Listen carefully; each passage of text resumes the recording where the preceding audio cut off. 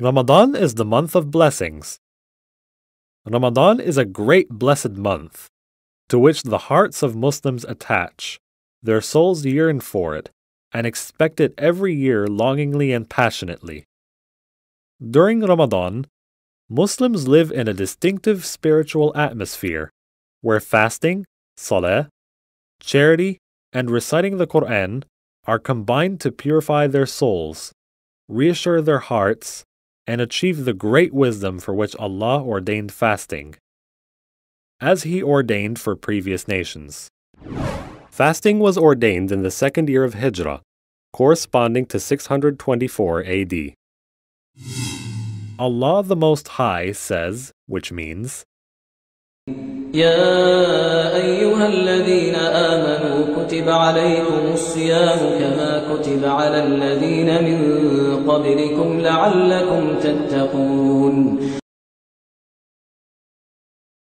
Piety is awakened and enhanced in the hearts of Muslims while performing this obligatory duty in obedience to Allah and achieving His satisfaction. Piety is the shield which guards these hearts against the corruption of fasting by sins, even if they are just thoughts.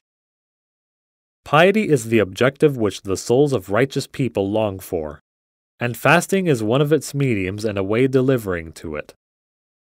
Therefore, the Quran gave much care to piety and made it a clear target for people to seek and achieve through fasting, that you may become muttaqun, pious. In order to fast perfectly, we should get ourselves prepared for Ramadan by repentance and returning to the way of Allah, abandonment of amusements and distracting matters, abandonment of rivalries, enmity, and disputes with Muslim brothers, and freeing oneself of grievances. All these are parts of righteous works that draw us closer to Allah and more likely to be guided to righteous work during that month. We must know the rulings, sunan, and etiquette of fasting so that we can fast as our Prophet, peace be upon him, fasted. Since Allah, glorified and exalted be He, does not accept actions except if they are in harmony with the guidance of the Prophet Muhammad, peace be upon him. Fasting is worshipping Allah, may He be exalted, through abstaining from food, drink, and sexual intercourse from the break of true dawn to sunset. It is obligatory on every Muslim, sane, adult, able, non traveling, another condition for women, which is not to be menstruating nor a postpartum woman. It is a condition for fasting to recall the intention of fasting from the preceding night. It is desirable to observe suhoor, pre dawn meal, by eating or drinking before dawn, even by having a few dry dates. It is part of the sunnah to delay suhoor unless it is feared the dawn will break.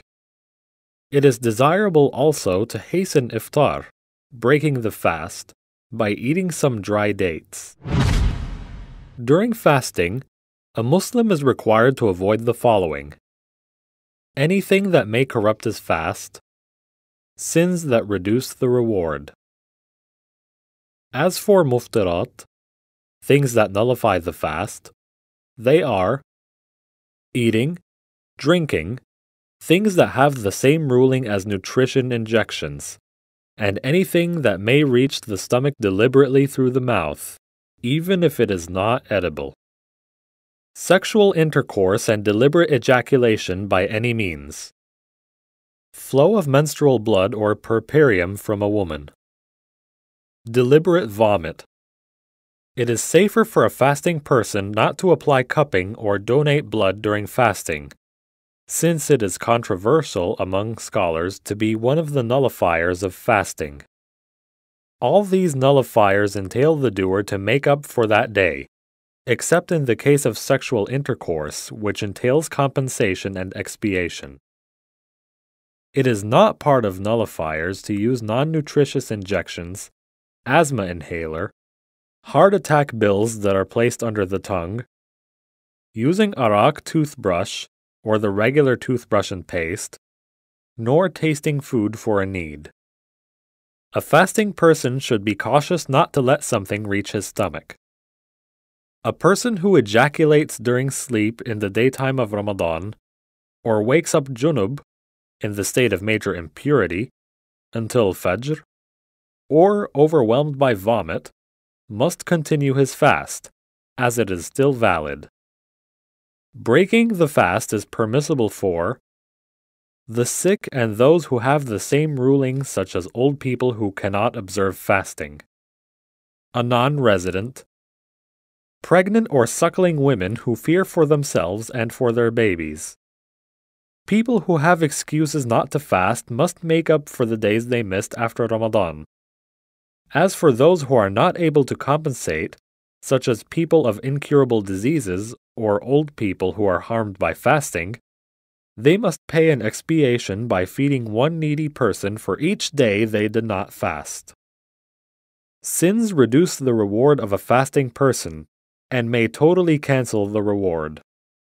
So, it is obligatory for a Muslim to feel the greatness of this month, thank Allah, may He be exalted, for attending the month, and seek His help in investing its hours in things that fix His heart, purify His soul, and draw him closer to mercy and forgiveness. Of the most important things a person must be keen on during Ramadan is reciting, pondering over, and seeking the guidance of the Quran. Allah the Most High says, which شهر رمضان الذي أنزل فيه القرآن هدى للناس وبينات من الهدى والفرقان The benefits and impacts of fasting are countless, to the extent that some non Muslims observe fasting as a means for cure and treatment. Moreover, they wrote books on fasting. Praise be to Allah, the Lord of the worlds, for guiding us to this great religion which contains the goodness of this world and the next.